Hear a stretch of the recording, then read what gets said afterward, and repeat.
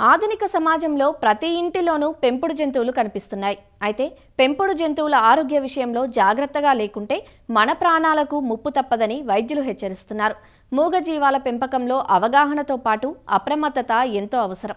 మనం ఎంతో ప్రేమగా పెంచుకునే కుక్కల నుంచి రేబీస్ గజ్జి పశువులు గొర్రెలు మేకల నుంచి ఆంథ్రాక్స్ వంటి ప్రాణాంతక వ్యాధులు సోకుతాయి.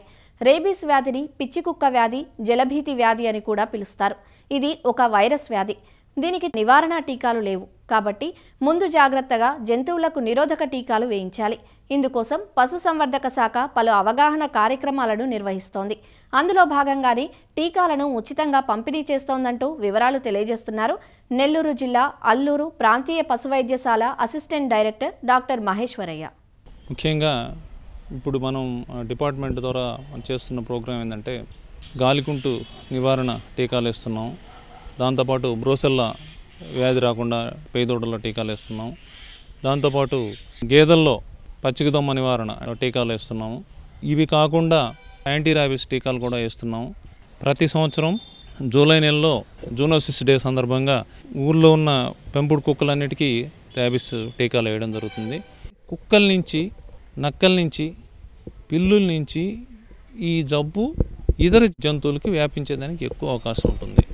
మన వీధి కుక్కలు మాకు ముఖ్యంగా పల్లెల ప్రాంతాలు ఆ గ్రామాల చుట్టుపక్కల అడవులు ఉండే ప్రాంతాల్లో కుక్కలకి లేదా మన పశువులు అడవలేకపోయినప్పుడు అక్కడున్న ఆ నక్కల నుంచి కానీ వాటి నుంచి ఈ వ్యాధి వాటి- వాటికి సోకేదానికి అవకాశం ఉంటుంది.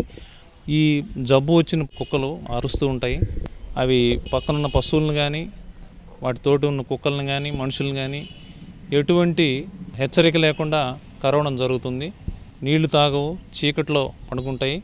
ఒక్కోసారి మైళ్ళు కొద్ది నడిచిపోతూ ఉంటాయి. వీటిలో ఒకసారి జబ్బు లక్షణాలు కనపడిన తర్వాత ఏడు నుంచి పది రోజుల లోపల ఈ పశువు చనిపోతుంది. అది కుక్క కావచ్చు లేకపోతే గేదెలు ఆవులు కావచ్చు గొర్రెలు కావచ్చు ఈవెన్ మనుషుల్లో కూడా ఈ ఈ ప్రమాదం ఉంది. వ్యాధి వచ్చిన తర్వాత ఎటువంటి వైద్యం లేదు. కేవలం నివారణ మాత్రమే ఉంది. ఈ నివారణలో భాగంగా పెంపుడు కుక్కలకి అన్నిటికీ టీకాలు ఇస్తున్నాం. అవే కాకుండా మిగిలిన సందర్భాల్లో కూడా నాలుగు నెలల వయసు దాటిన తర్వాత ప్రతి కుక్కకి వాళ్ళు హాస్పిటల్కి తీసుకొని వస్తే యాంటీ ర్యాబిస్ టీకాలు ఉచితంగానే ఇస్తున్నారు. ఏ కారణం చేతైనా కానీ ఆ కుక్క కరిస్తే ఆ జబ్బు రాకుండా ఉండేదానికోసం మొదటి రోజు తర్వాత మూడో రోజు తర్వాత ఏడో రోజు తర్వాత పద్నాలుగో రోజు తర్వాత ఇరవై ఎనిమిదో రోజు ఇట్లా ఐదు రోజులు టీకాలు వేస్తే ఈ వ్యాధి రాకుండా మనం ఖచ్చితంగా నివారించుకోవచ్చు. ముందు కాళ్ళ మీద కానీ మూతి దగ్గర కానీ కరిచినప్పుడు ఈ జబ్బు వచ్చేదానికి కొంత అవకాశం ఉంటుంది.